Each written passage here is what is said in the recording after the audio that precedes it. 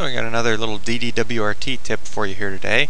Um, if you've ever wanted to control access to certain websites, services, or other things for your children or employees or family or whoever you may want to control access for, log into your router and go to the Access Restrictions tab. Now this page has been a little cryptic to me in the past, so I never messed with it, but recently I've come to understand how it works.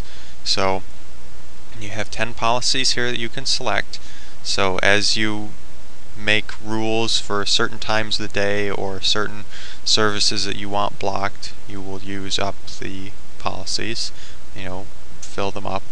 Um, so since I don't have any set up, I'll change this to enable and then we put a policy name. For example, we could put like P2P if we wanted to catch peer-to-peer -peer stuff or World of Warcraft, you know, you name it whatever you want, like um, games or uh, instant messengers or something. So, whoops, let's just say games. Let's say that uh, you want to stop your kids from playing games until they've got their schoolwork finished.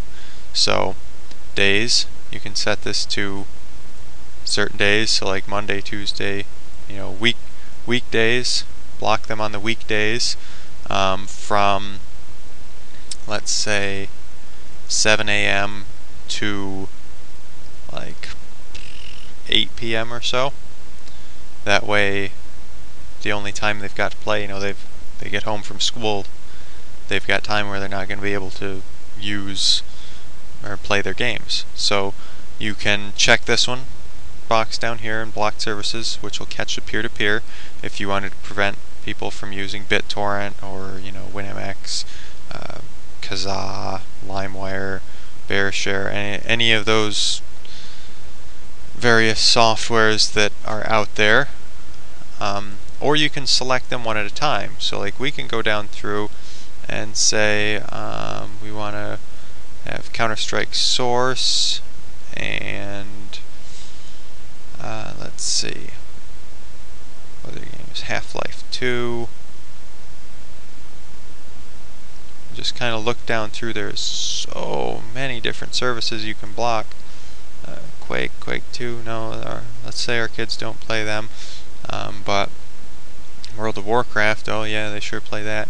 And another thing you'll have to do, I forgot to mention, is edit your list of clients. So, that popped onto my other screen. Um, this you can filter by MAC, so you can have certain machines that are filtered. You can do it by IP, which you could tie in with my video I did a little while ago about static IPs on the um, router side, or you can do an IP range. You could cover every machine on your network from you know 192.168.1 1 1 to 192.168.1 255. We'll cover everything. Then apply those settings when you're done. And you've got block services. Now let's say also, you know, you want to block YouTube keep your kids from goofing off, you know, watching all my videos and stuff, learn how to undo this stuff. Block that. It'll block it during these same times. Or how about game FAQs? Com, com. Can't spell today. You can block those things. You could also block games based on keyword. Games. Man, I'm telling you, I can't spell. Games. You know, you can do block anything you want based on the protocol, the URL, or by keyword. And change the days, whatever, and hit apply settings, and that'll filter it. Now the other thing you can do is just hit deny up here, and it will just completely deny access to everything on the internet during these times. So you have the choice of either filtering or just blocking internet access altogether.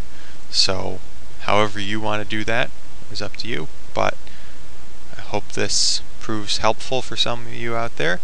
So thanks for watching.